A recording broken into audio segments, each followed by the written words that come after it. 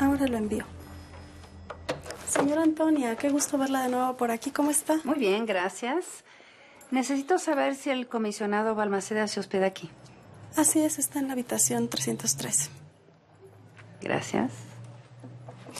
Pero, señora...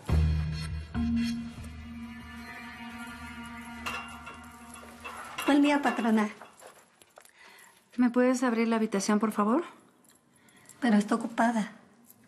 Lo sé. ¿Me abres?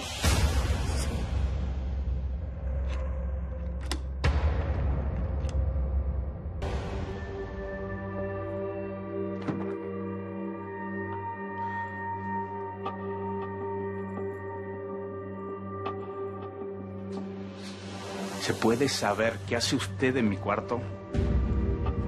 Vine a hacerle una proposición que no va a poder rechazar.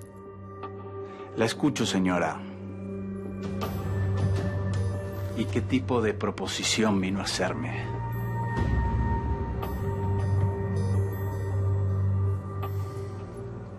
No se va a cubrir. No, así estoy más cómodo. No va a estar caminando de aquí para allá, pavoneándose. Digo, presumiendo, pues todo eso. Además de invadir mi cuarto, quiere que me vista. Yo no la invité. Usted no sabe cómo tratar a una dama. Mire, si no le gusta lo que ve, entonces váyase. O deje de portarse como una niña inocente que nunca ha visto un hombre desnudo. Hable, señora, la escucho. ¿Qué me vino a proponer? Sigo esperando su propuesta. ¿Qué me tiene que decir?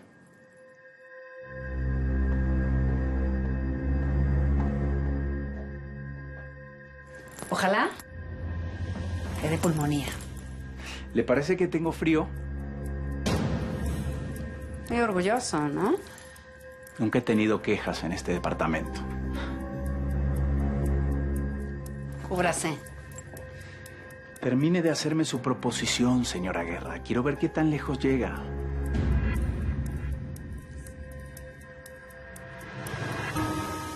Bueno, no me puedo concentrar, sí, así, no puedo. A ver, muy sencillo. Voltee para otro lado y deje de mirarme. Así no le ofendo.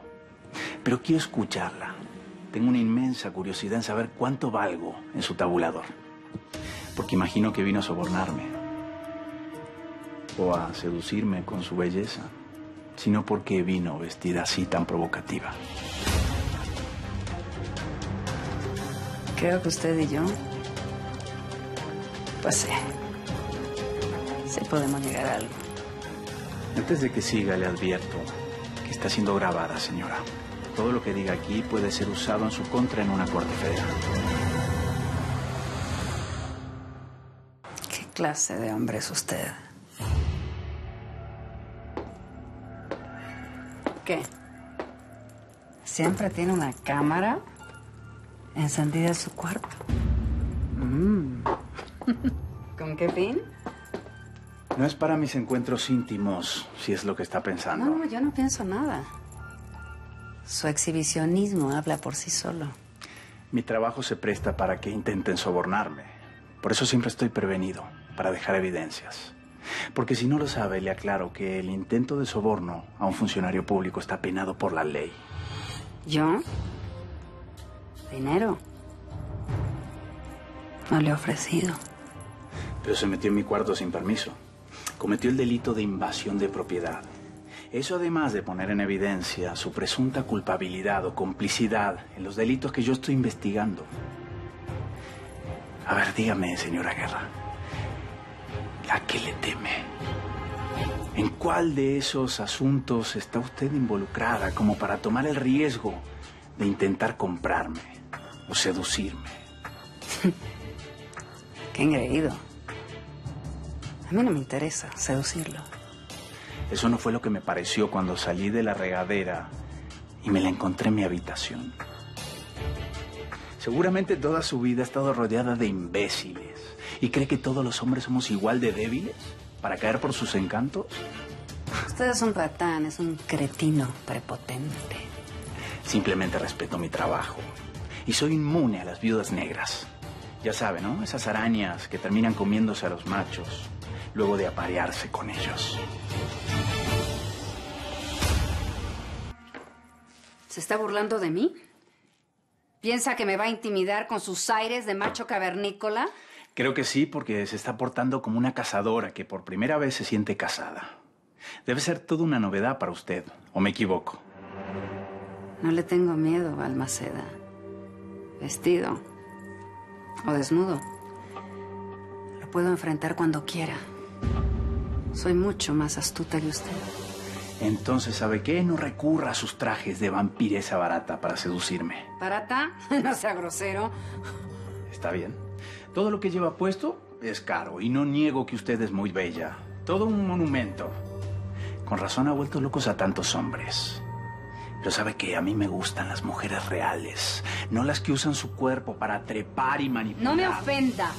La verdad no ofende, señora Guerra. Usted ya enterró a dos maridos y al menos a un amante joven. Que se sepa. Mucho cuidado con lo que dice de mí, comisionado. Quizá el que termine en la cárcel sea usted por calumniarme.